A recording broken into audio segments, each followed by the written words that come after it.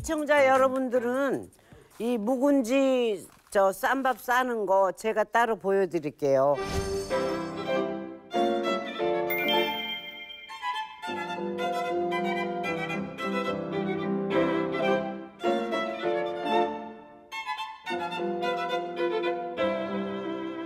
묵은지를 깨끗이 씻어서 완전히 꼭 짜세요. 참기름하고 깨소금 여기다 이렇게 묻히세요. 묵은지를 도마에 까세요. 밥 양을 많이 안 넣습니다.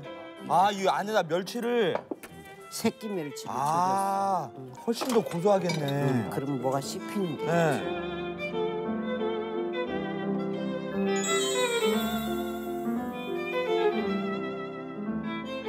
자, 저희 이거 한번 하나씩. 오 벌써 아, 예. 이게 뭡니까? 쌈밥. 묵은지 쌈밥인데요. 두 개 한꺼번에 먹는 거 아니고 하나씩 드시는 거거든요.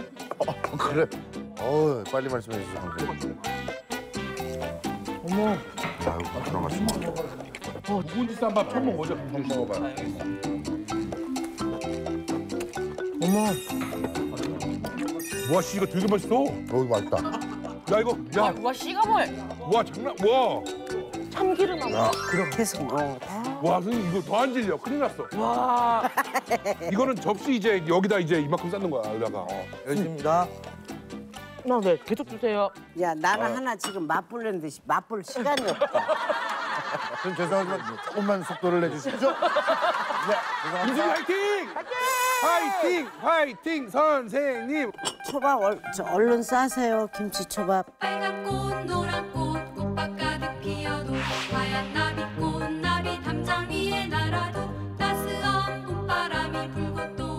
여기 있습니다. 와.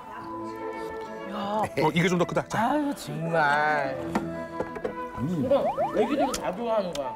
아, 좋다. 음, 이거는 60억 인구의 호불호가 없어. 이거 다 좋아해. 이거 애기들도 다 좋아하는 거야. 와, 너무 좋다, 이거. 하나 잡수 줘봐. 아니 저기 줘야지 먹을 시간이 없다니까. 빨